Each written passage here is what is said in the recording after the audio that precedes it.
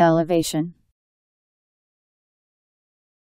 The act of raising from a lower place, condition, or quality to a higher set of material things, persons, the mind, the voice, etc., as the elevation of grain, elevation to a throne, elevation to sainthood, elevation of mind, thoughts, or character.